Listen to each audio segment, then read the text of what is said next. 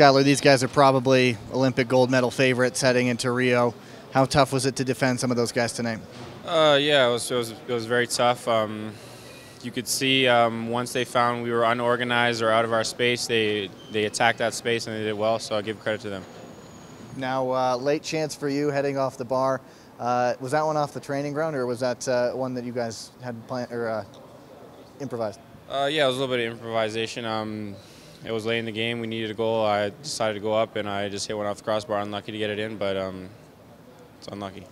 Now, what kind of, at least defensively, you did very well, I think, closing them down quite a bit. They didn't really have chance to work a lot of that creative flair, save for a few occasions.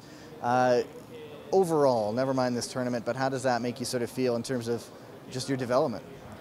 Uh, yeah, I'm proud. I'm proud of us, proud of the boys, uh, proud of the way we defended. We kept our lines very tight, which was good, and you could see that they were frustrated at some points. They couldn't uh, spark an attack, and we did well to keep them out for the most part. Now looking ahead, uh, you know, it's an improved, I think, final 10 minutes, getting your chances in. Uh, what do you think that sort of holds for the game against the U.S., and what do you think of uh, a rematch against the Americans in a couple days? Yeah, a rematch is perfect. Um, we really want to play them again. We want to show them what we could do, and hopefully we get a result of that game.